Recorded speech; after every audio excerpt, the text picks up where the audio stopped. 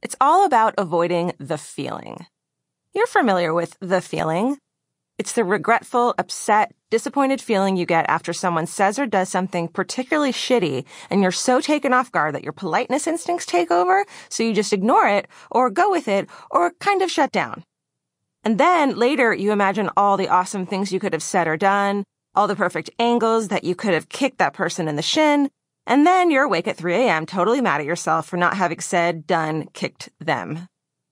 The epitome of fucking politeness is learning how to act in the moment instead of wishing you had later. But for women, it's so much more than that. The politeness that we're raised to prioritize, first and foremost, against our better judgment and whether we feel like being polite or not, is the perfect systematically ingrained personality trait for manipulative, controlling people to exploit. We ignore a catcall and seethe inside instead of telling the guy to fuck right off. We don't blow off the dude at the bar who's aggressively hitting on us. And we find ourselves in uncomfortable or straight up dangerous situations that we absolutely do not want to be in, and sometimes don't even know how we got into them. All because being rude is so much harder and scarier than being staunch. Georgia's take on red flags and riot girl courage. Little girls are taught to be polite, to smile pretty and sit up straight, to be nice and accommodating. And then those little girls turn into grown ass women who've spent years being polite to the detriment of their own wants, needs, and safety.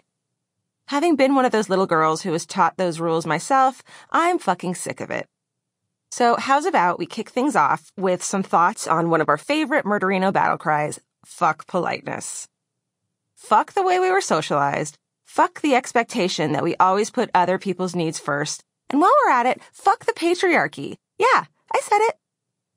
But fucking politeness is so much easier said than done, and it's taken me years of practice to even start getting the hang of it after a lifetime of being nice. In July 1998, about a month after my high school graduation, I escaped the confines of my cloyingly suburban hometown in Orange County, California.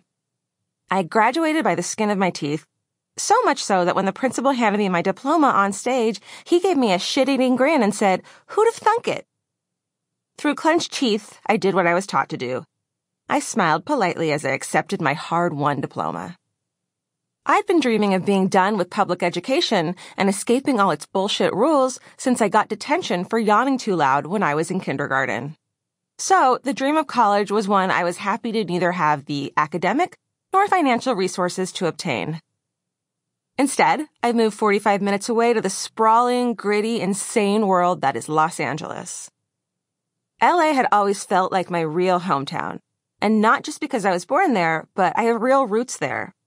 When you live in a transient city like Los Angeles, you tend to meet a lot of people at comedy parties who moved here from wholesome Midwest towns to pursue improv classes. And they can't even fathom that someone would not only be born in Los Angeles, but actually raised there as well. You get asked where you're from a lot. My answer is never simple, mostly because saying I grew up in Orange County feels off, like the feeling of sitting in the backseat of your own car. My heart is from Los Angeles, and I sprang from my mom's womb in Los Angeles. Ew. But I didn't grow up here. My great grandparents had immigrated from Eastern Europe to the still farmland studded neighboring outskirts of Los Angeles called Boyle Heights, along with a ton of other Jewish immigrants in the 1920s. Later, my grandparents on both sides owned businesses in the equally Jewish laden Fairfax district.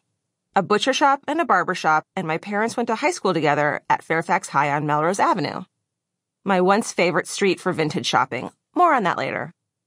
But back to the summer of 1998 when I moved into my sweet grandma's mid-century duplex in mid-city where my mother had grown up and I signed up for beauty school. After 18 years, I was finally free.